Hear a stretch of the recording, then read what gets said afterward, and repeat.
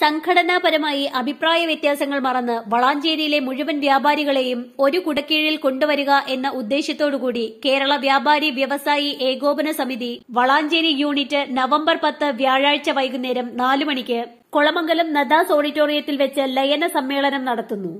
സംസ്ഥാന പ്രസിഡന്റ് രാജു അപ്സര ലയന മഹാസമ്മേളനം ഉദ്ഘാടനം ചെയ്യുമെന്ന് ഭാരവാഹികൾ വളാഞ്ചേരിയിൽ വിളിച്ചു ചേർത്ത വാർത്താ സമ്മേളനത്തിൽ അറിയിച്ചു.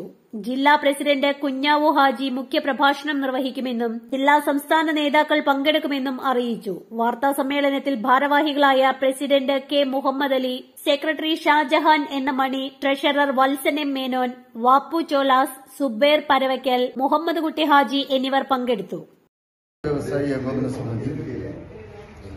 പത്താം തീയതി നദാസ് ഓഡിറ്റോറിയത്തിൽ വെച്ച് ഒരു ലയന സമ്മേളനം ചേരുന്നുണ്ട് രാജു അപ്സരയാണ് സമ്മേളനം ഉദ്ഘാടനം ചെയ്യുന്നത്.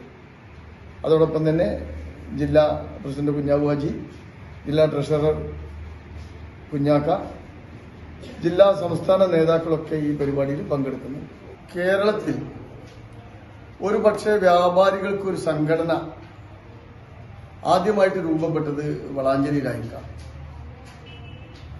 അത് മർച്ചന്റ് അസോസിയേഷൻ എന്ന പേരിൽ രൂപപ്പെട്ട് ഒരുപാട് കാലം ആ രീതിയിൽ പ്രവർത്തിച്ച് തൊള്ളായിരത്തി എൺപത് കാലഘട്ടത്തിലാണ് വ്യാപാരികൾക്ക് കേരളത്തിൽ ആകമാനം ഒരു സംഘടന ഉണ്ടായിട്ടുള്ളത്. കേരള വ്യാപാരി വ്യവസായി ഏകോപന സമിതി എന്ന ഇന്ന് പ്രവർത്തിക്കുന്ന കേരളത്തിലെ ഏറ്റവും വലിയ രാഷ്ട്രീയ അതീത സംഘടന തൃശൂരിൽ വെച്ചാണ് രൂപപ്പെട്ടത്.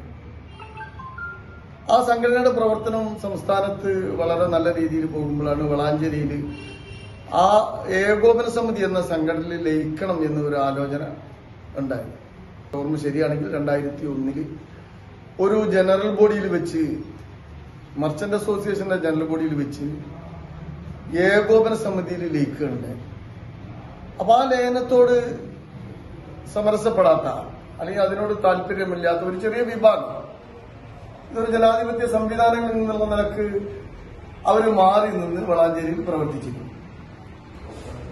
അപ്പോ വ്യാപാര സമൂഹം വലിയ പ്രതിസന്ധി നേരിടുന്ന ഈ കാലഘട്ടത്തിൽ ഭിന്നിച്ച് നിൽക്കാതെ ഒന്നിച്ചു നിന്നുകൊണ്ട് സംഘടന കരുത്ത് നമ്മൾക്ക് എതിരെ വ്യാപാരികൾക്കെതിരെ വരുന്ന വെല്ലുവിളികളെ നേരിടാൻ പ്രയോജനപ്പെടുത്തുക എന്നുള്ളതാണ് കാര്യമായിട്ട് ഈ ലയന സമ്മേളനം കൊണ്ട് ഞങ്ങൾ ഉദ്ദേശിക്കുന്നത്.